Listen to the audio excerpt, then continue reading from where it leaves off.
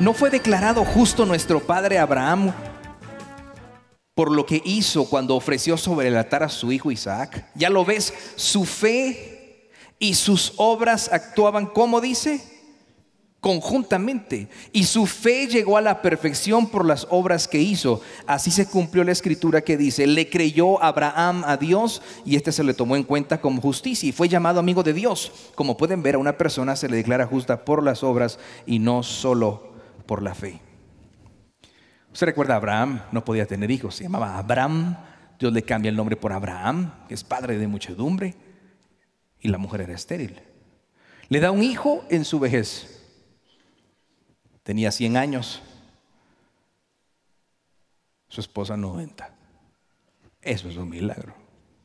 Isaac nace. Y le dice, quiero que me lo entregues como sacrificio a mí. Y la gente toma este pasaje para decir que tenemos un Dios malvado. Dios nunca lo iba a hacer, solo quería probar el corazón de Abraham. Si su hijo era más importante que él. Y lo toma, se van con los criados, al llegar a la montaña, dejan a los criados y los dos solos van. El hijo lleva la leña para el holocausto, un sacrificio que se quema. Y va allí Abraham. ¿Cómo habrá ido en su corazón? Mi Dios me está pidiendo esto. Y en el camino el muchacho le dice, Padre, ¿y dónde está el animal para el sacrificio? Y que le dice Abraham, Dios proveerá. Y llega y toma el cuchillo, amarra al hijo. Yo no, yo no creo que él haya estado con ojos secos. Levanta el cuchillo. El Señor dice, detente. ¿Por qué fue declarado justo Abraham y llamado amigo de Dios? No porque fuera a matar al hijo, sino porque tuvo fe y fue obediente. No es fe más obras, es fe y obras. ¿Qué tipo de fe tiene? ¿Fe muerta, estéril, al estilo demonio o una fe genuina? Porque la fe genuina siempre produce... Ay Señor bendito. La fe genuina siempre produce buenas obras.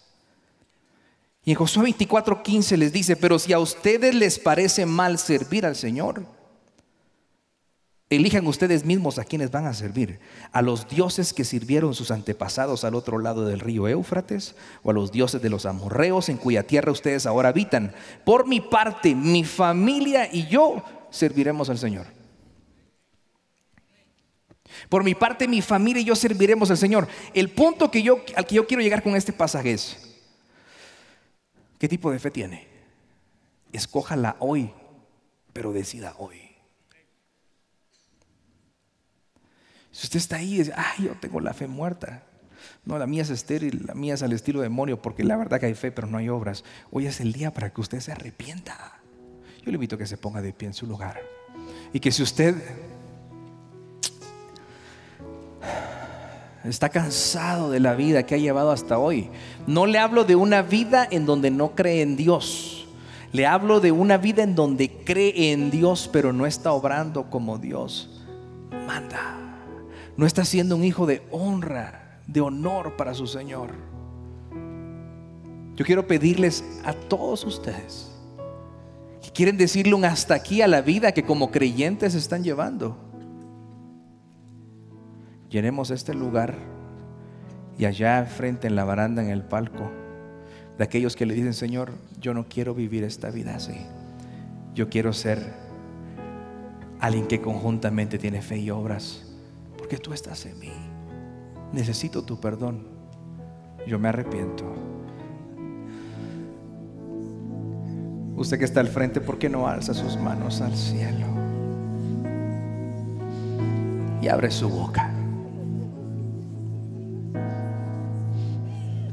Confiese su pecado delante del Señor. Dígale, aquí estoy, Señor. Sucio. con mis obras inmundas delante de ti, pero arrepentido. Señor, yo quiero comenzar de nuevo.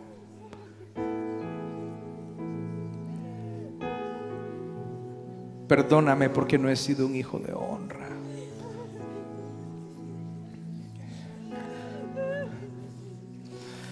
Señor, yo te doy gracias por la vida de cada una de estas personas. Señor, gracias por su humildad delante de ti.